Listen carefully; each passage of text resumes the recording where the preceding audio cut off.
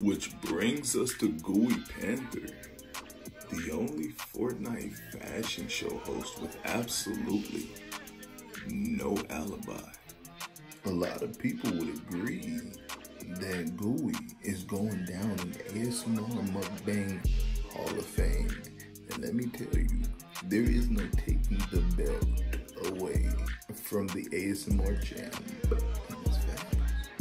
During last year's ASMR Mukbang Finals, Gooey didn't leave a single thing on his plate. And let's talk facts. He helped clean up everybody else's plate afterwards. And two months ago, Panther spotted Gooey down at two Chipotle bowls in one sitting. No way, Gooey? He doesn't have it in him.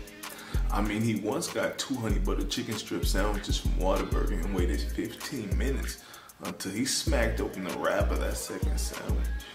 Yeah, look, Gooey, he's the type of dude that you knew we were gonna kick it off straight off the bat. Because look, he does the ASMR mukbang and live streams, and I, bro, I'm a gamer.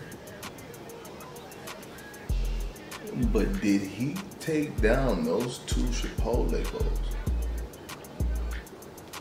I mean, let's really sit here and think about it.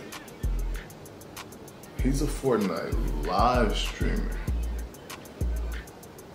Who knows what he's thinking? And he's like seven feet. man could probably eat the whole Chipotle.